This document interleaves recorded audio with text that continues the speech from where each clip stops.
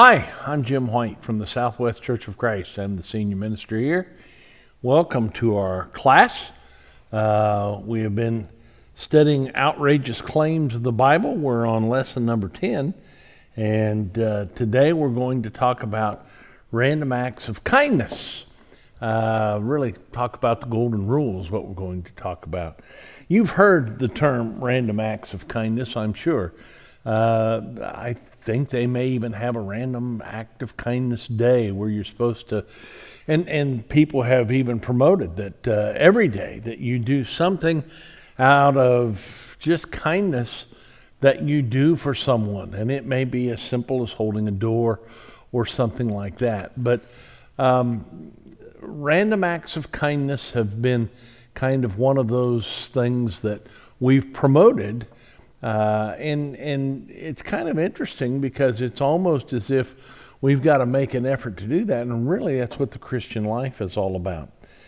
Um, and as I mentioned at the very beginning, we're, we're going to talk a little bit about what's been called the Golden Rule. The Golden Rule, there are certain uh, verses, passages in the Bible, even stories in the Bible that everybody seems to know. Everybody seems to know the story of of uh, David and Goliath. Everybody seems to know the story of Jonah. Um, people use the term doubting Thomas, we're going to talk about uh, in the sermon on Sunday. Um, but everybody seems to know what the golden rule is. But it's kind of interesting because even though people may think they know what the golden rule is, I'm not sure they understand uh, the complete ramifications of that. It's found in Matthew chapter 7 and verse 12. It's in the famous Sermon on the Mount, where Jesus says, So in everything, do to others what you would have them do to you. For this sums up the law and the prophets. A couple of things. First of all, he says, So in everything. It's kind of interesting to me. It's everything, it doesn't leave out anything at all uh, in everything. And then he says to do to others as you would have them do to you. And he says this sums up uh, everything about the law and the prophets. Um, it's kind of interesting because uh, when Jesus is asked about um, the greatest commandment, we're going to talk about that, I think, in this lesson. Um, but when Jesus is asked about the, the greatest commandment, he says the greatest commandment is to love God with everything you've got. I'm paraphrasing here. And the second one uh, is to love your neighbor as yourself. And he says, all of the law and prophets hang on those two things.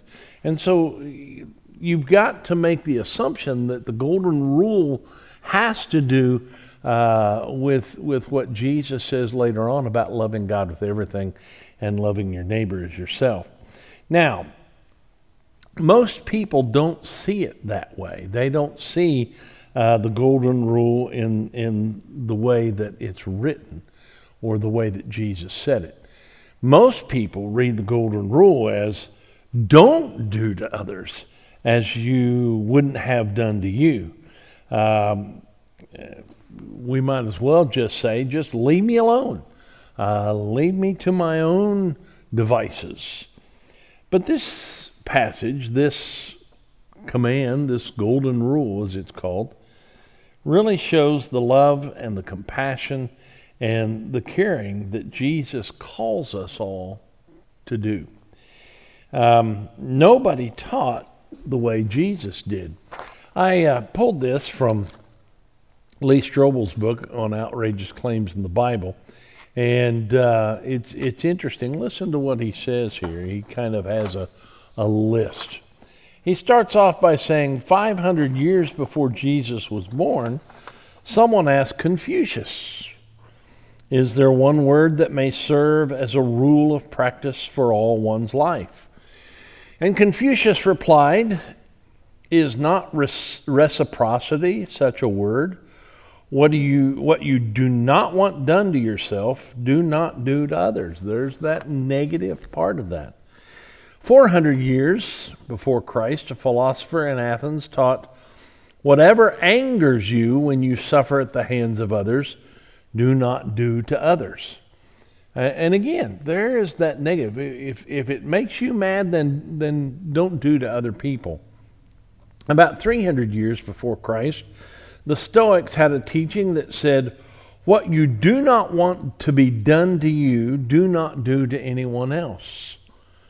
And then, roughly 200 years before Christ, the author of the Tobit, which is part of the Apocrypha, wrote this particularly succinct version What thou thyself hatest, to no man do. And so you see the difference in this. Um, the, the, the negative part of this compared to what Jesus said, which was much more positive. Everybody else says, if you don't like it done to you, then don't do it to someone else. Jesus says, whatever you want or, or, or whatever way you want to be treated, that's the way that you treat other people. Uh, do unto others as you would have done to you. And so it's a whole lot more positive take on that uh, than anybody else, any of the philosophers, anybody that, that wrote before concerning this. A few years ago, and it's been several years ago, it was when my kids were young, uh, my family took a trip to San Diego and we went over and saw uh, Hotel del Coronado, I believe is the name of it. And if you walk the beaches uh, out there near the hotel, uh, you'll see this beautiful, beautiful uh, sparkling in the sand. It looks very gold. And it's called fool's gold. And it looks like gold, but it's not really gold. And sometimes I think that, that these philosophers, the way that they uh, put this, is really fool's gold. Now, obviously, the Golden Rule, uh, the, the title of that, the name of that, was given by humans. Uh, but yet, it, it indicates really something that's very uh, precious and very rare, in, in, especially in our society today. Uh, and as I said, we tend to take the negative view, but the real golden rule is selfless generosity, as Lee Strobel calls it. Under the negative version, you could live a passive life. You could do whatever you wanted to, as far as don't hurt me and I won't hurt you.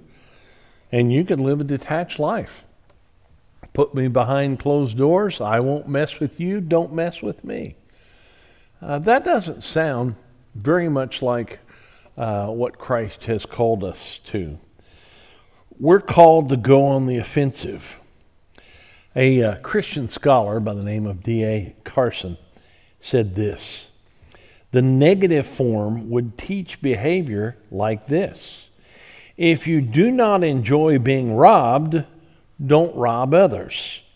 If you do not like being cursed, don't curse others. If you do not care to be clubbed over the head, don't club others over the head. However, the positive form teaches behavior like this If you enjoy being loved, love others. If you like to receive things, give to others. If you like being appreciated, appreciate others. The positive form is thus far more searching than its negative counterpart. There's no permission in this to withdraw into a world in which I offend no one. Um, but let me give you an example of maybe some things you could do. And we're going to talk a little bit about this as we go through this. Um, I, I like notes. I'm not asking that you write me a note, but um, if you like receiving notes, then why don't you write a note to someone? Um, that's kind of the thinking that we're talking about. Whatever you like, do it. Uh, especially in this time of COVID when we're isolated, when we don't see each other very much, and when we do see each other, uh, we only see half their their face. We have to stay a certain distance away. There's no hugging. Uh, we tend to uh, pound elbows. Uh, but you can really write something that that's poignant, that's that's kind, that's nice. And uh, if you do that, then I'm sure people would appreciate that. Encouragement right now is extremely valuable. And if the world would abide by the golden rule, there'd be no office politics. We wouldn't have to lock our doors at night. Uh, there'd be no terrorism, no starvation, no genocide, anything like that. And you see how effective this could be if the entire world would just understand it and take hold of it. There'd be forgiveness, there'd be compassion, there'd be peace, there'd be goodwill. Oh, and for goodness sake, there'd be good manners. But you know as well as I do, the world is not like that. In fact, in many cases, the world is totally opposite of that. We tend to live in a selfish world. I remember Jerry Jones when he was in here several years ago, Dr. Jones. Um, he was talking about marriages, and he said the number one problem in marriages is selfishness. And I remember hearing that statement and really wondering about it, but then when I considered it, isn't that true? Uh, we want our way. We want the food that we want when we want it. Uh, there's a certain way that we like things, and if we don't get it, we get upset. Um, uh, it's it's what's in it for me, and and you know it's it's kind of like my grandchild. I've got three of them, but one of them in particular, she's at the age now that if you have a doll of hers, that's mine. Give it back. And that's kind of the way we act as adults sometimes. Uh, we act like children. And we need to, to see not only uh, people, but we need to, to see people through, through God's eyes. One of my favorite passages, it's, it's fast becoming really uh, a very favorite passage of mine, is found in 1 Corinthians, or uh, 2 Corinthians, I'm sorry, chapter 5. And, and if you're around me much, you know I quote chapter 4 an awful lot, verses 16 through 18. Uh, therefore, I've got to do it right now because I always tell people if I ever get a chance to quote my favorite verse, I will. And this one is my favorite verse. Therefore, we do not lose heart, though outwardly we are wasting away, yet inwardly we are being renewed day by day. For our light and momentary troubles are achieving for us a glory that far outweighs them all. So we fix our eyes not on what is seen, but what is unseen. For what is seen is temporary, but what is unseen is eternal. Right after that, in, in chapter 5, is a passage uh, that talks about reconciliation. And when you start in verse 11, it says, Since then, we know what it is to fear the Lord we try to persuade others. What we are is plain to God, and I hope it's also plain to your conscience. We are not trying to commend ourselves to you again, but are giving you an opportunity to take pride in us, so that you can answer those who take pride in what is seen rather than what is in the heart. If we are out of our mind, as some say, it is for God. If we are in our right mind, it is for you. For Christ's love compels us because we're convinced that not one died or that one died for all and therefore all died. And he died for all that those who live should no longer live for themselves, but for him who died for them and was raised again. Let me stop here for just a minute. Did you hear what he said? We're going to read more here in just a moment. Did you hear what he said? He says he died for all, that those who live should no longer live for themselves. There's that selfishness factor again, isn't it? Instead of thinking of yourself first, you think of the other person. You're not living for yourself anymore. Let's go on. Starting in verse, what is that, 16? So from now on, we regard no one from a worldly point of view. Though we once regarded Christ in this way, we do so no longer. Therefore, if anyone is in Christ, the new, uh, the new creation has come, and the old is gone, and the new is here. All this is from God who has reconciled us to himself through Christ and gave us the ministry of reconciliation, that God was reconciling the world to himself in Christ, not counting people's sins against them. And he goes on and talks a little bit about reconciliation, but I want you to hear what he says in verse 16. So from now on, we regard no one from a worldly point of view. In other words, um, we see them through different eyes. We see the world through different eyes. And what he's talking about there is that we see the world through the eyes of God.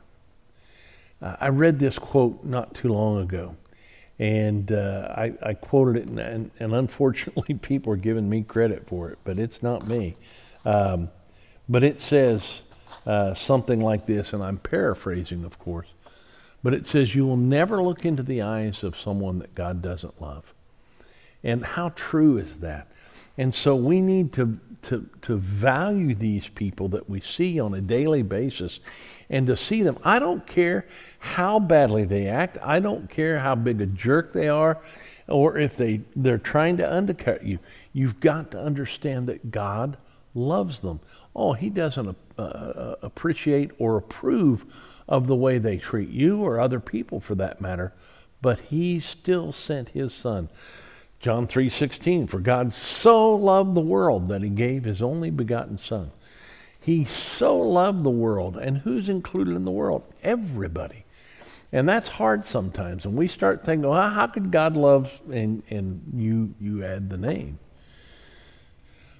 I don't know how he can love them, but he does. And so it behooves us uh, to act as he does and to see the value of everyone.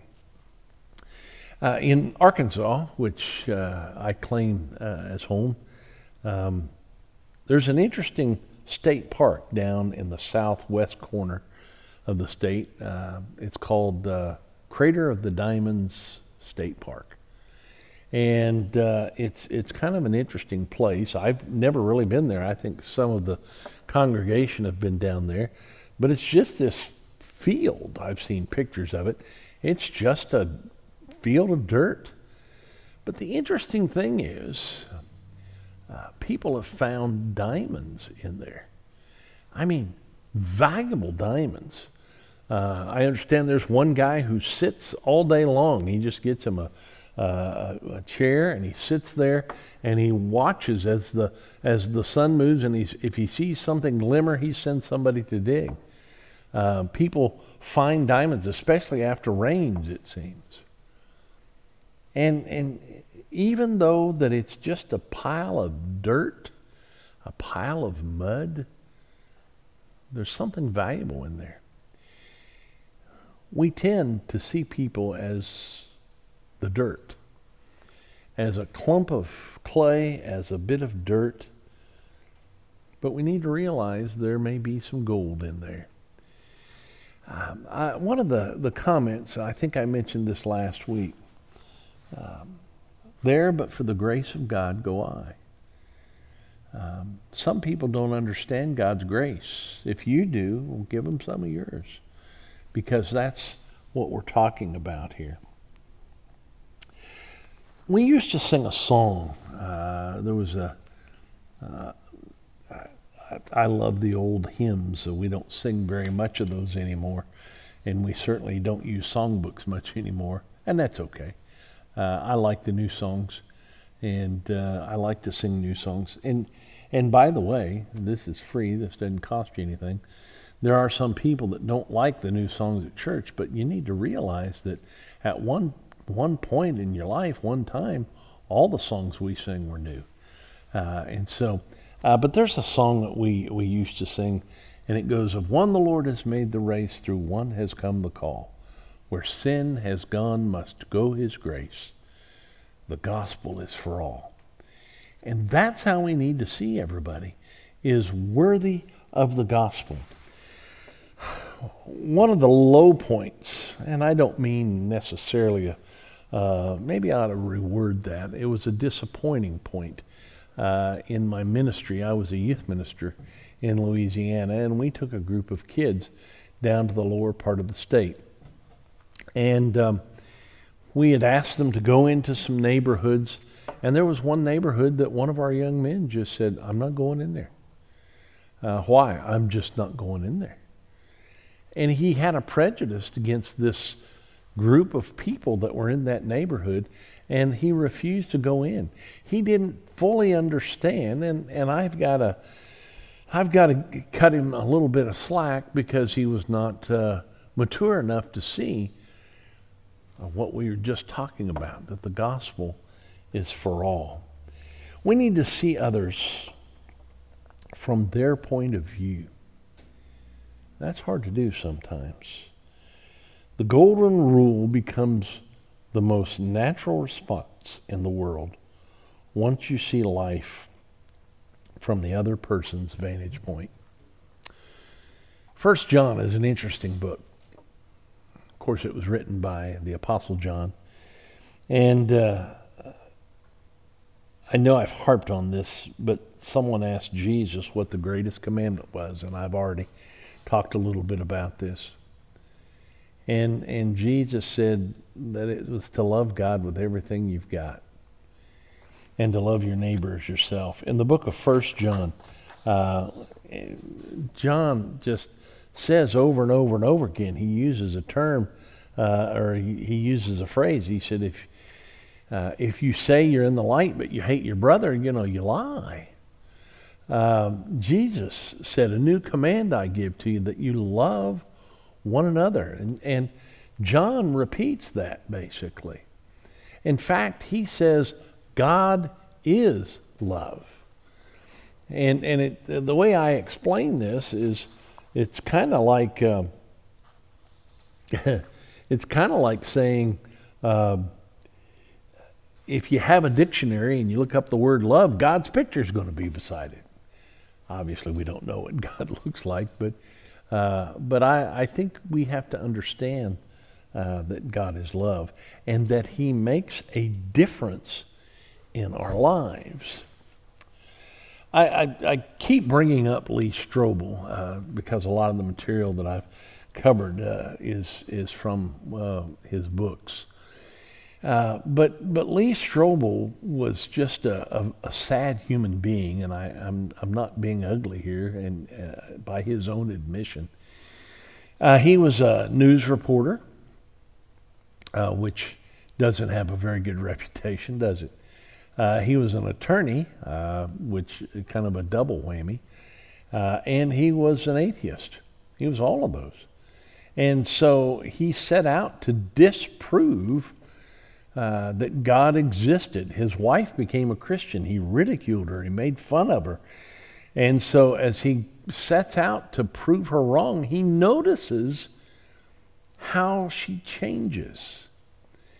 And he doesn't really care for that. And that made him all the more uh, wanting to, to disprove God's existence. And it was that journey that brought him to where he is, even today. No expression of compassion to another human being is a wasted effort. Let me say that again. No expression of compassion to another human being is a wasted effort. I read a story of uh, Mother Teresa, and you've, Mother Teresa was a Catholic nun who lived in the dredges of the uh, of the poor in Calcutta, India, and um, it's said that Mother Teresa spotted a baby who had been rescued from the streets. And there was a volunteer who was there, kind of, you know, show me what you do. This baby was, was in dire need of medical help. In fact, not only was the baby in dire need, but was really beyond what anybody could do for her. And Teresa picked up the baby and handed it to this new volunteer. And she said, don't let this baby go. Don't let this child die without being loved. What had that child done to deserve anything? Eh, no, not really. She'd done nothing. And yet she deserved love. The volunteer said this I held her in my arms and I loved her until she died at six o'clock in the evening. I spent the hours humming Brahms' lullaby. And do you know, I could feel that baby, as tiny and weak as she was, pressing herself against me. God calls us to be compassionate. He calls us to be more loving. I, I struggle with this very personally. Uh, my wife is much more compassionate than I. Uh, I'm I'm cut and dried. No, you know that person's a charlatan. That person needs to do this and that, and she seems to be a whole lot more compassionate. And and so we need to understand that. And and as I said, if we look at someone and we see you know what they've been through, we're a lot more compassionate. I, I was reminded of this as I was watching on uh, the internet yesterday. And I, I tend to have the sound turned down. But I saw this guy on a high dive, uh, diving board, and, and he looked just like he was lumbering up there, like he could barely make it. And I, my, my initial thought was, what is this guy doing? You know, he doesn't need to be up there. If he's going to jump in the water, the water's deep. He can barely walk down this diving board. In fact, at one point he almost fell and somebody ran out and stopped him. And I thought, what is this guy doing? And he came to the edge of the board and he just kind of leaned in and dove in. Well, my curiosity got me, so I pulled up the story. Turns out the guy, I think he had a brain tumor. He was a diving coach several years ago. And he had lost really the complete use of his right side. And so the lumbering came as a result of the fact that he couldn't move. And they said once a year he would get on that diving board and jump in once you know the story, you understand, and you're not quite as critical, you're not quite as judgmental. And, and I think that's what we need to realize. Uh, we we kind of tease a little bit. Uh, we say, I wonder, wonder who, you know, somebody is acting kind of, um, I don't know, uh, just not the way they should.